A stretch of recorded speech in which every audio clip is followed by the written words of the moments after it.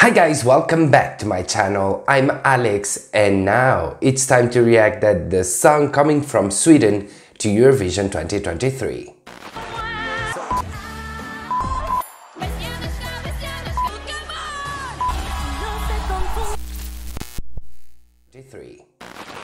So as we know, Loreen is back to Eurovision after the massive hit Euphoria. She's back with the song Tattoo to represent Sweden in Eurovision.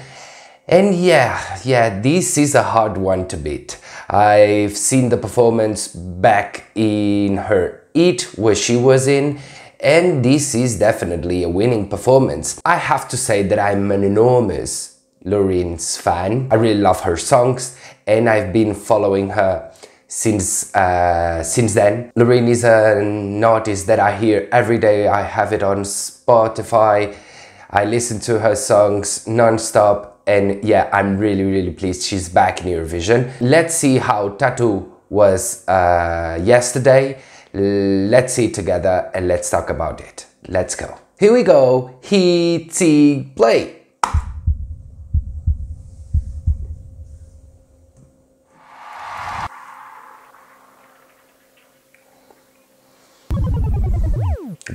This is such a dangerous performance. I see it that way. Let's go.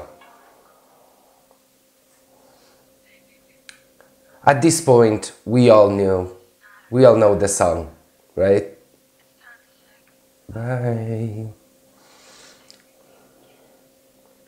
And I love her aesthetic the way she does things every time. I think that statement back in the day was so robbed. But I understand. Come on! And all I care about is you. Sorry for my voice.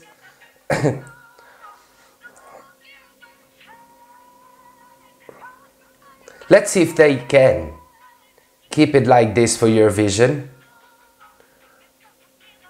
Let's see.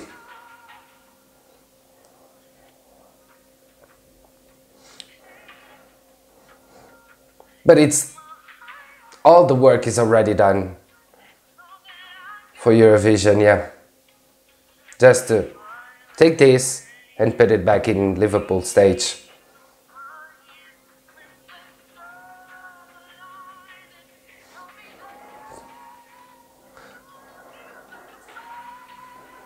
Come on.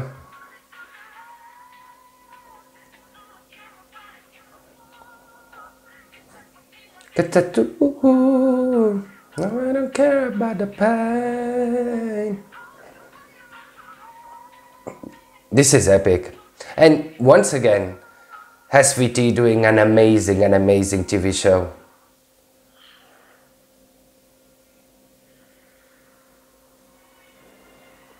She's she's meant for this. She's just an incredible artist.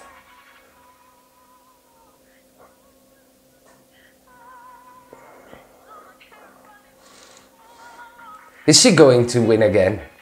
Is she?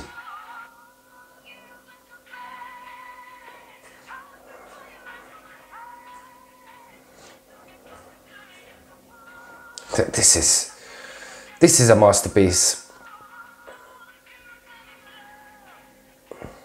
About the song itself, I think that it's not uh, comparing it to, I'll explain it just right now. As I was saying, comparing it to Euphoria, I think that it doesn't have the same effect. It can't have the same effect as Euphoria, of course. And I don't think that it's uh, better than Euphoria, um, but the performance puts the song in another in another level. If this was uh, with another staging, maybe she wouldn't be even chosen uh, to represent the country. I think, but uh, the the old product. It's meant for Eurovision. This is uh, such a Swedish quality performance. Uh, this is what we, we expect and this is what we get. Sweden is definitely one of the powerhouses in Eurovision. We all know that. And this year they're back once again fighting for the win. Um, is it going to be enough to, to win the whole contest?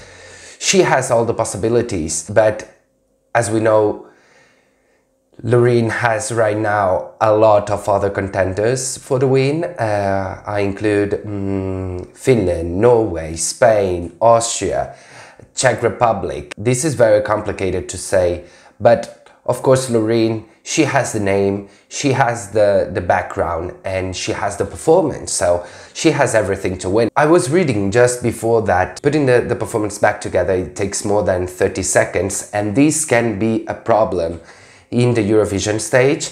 And I, I read too that the lead uh, platform she has above her uh, weights more than one tone.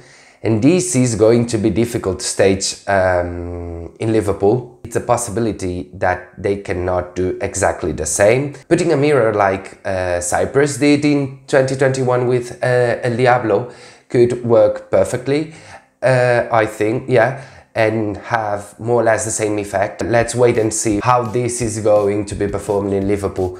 But yeah, I'm really, really happy. But anyway, guys, what do you think about the song coming from Sweden to Eurovision? Put me everything into the comments below. I want to know your opinion, of course. Thank you very much for joining me in this video. I cannot wait to see in the next one. But until then, if you enjoyed this video and you want to see more of my content, you only have to click here. Thanks for watching. Bye.